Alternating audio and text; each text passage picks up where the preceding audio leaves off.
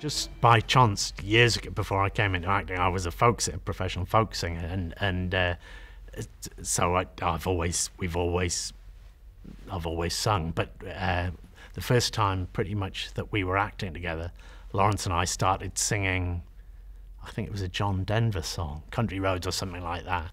And we often do it now if we're bored between takes. We'll start singing. But over the last few years, his guitar playing's become a lot better, and he started writing songs uh, his brain fizzes all the time. He doesn't switch off, so he has to have fishing or something else to be doing in between uh, setups.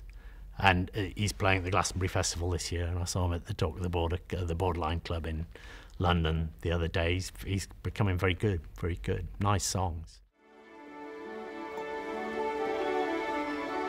Yeah, my daughter's been opera singing now. She's been out of uh, the Royal College for the last couple of years, so she's making her way in the opera world, and it, it still gives me a buzz. I, I wish John Thaw was a, alive now, because he, he loved opera and all classical music, and he'd be thrilled, I think, with the way her career's going. She's performing the Aix-en-Provence um, festival this summer, and Sheila Hancock, John's wife, owns a house just up in, in Provence, a bit further north, so she's coming down to see that. But it, it partly started we were doing a, a film called Masonic Mysteries, a Morse film, which Danny Boyle directed, uh, which revolved around the magic flute.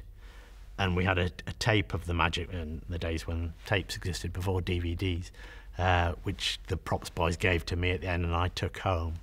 And Kitty, my daughter, heard the Queen of the Night arias, and absolutely they fascinated. And we could hear her up in her little attic room playing this thing and singing along with it and trying to hit the high notes. I guess she was 12 at the time, something like that, and she never wanted to do anything else from then on.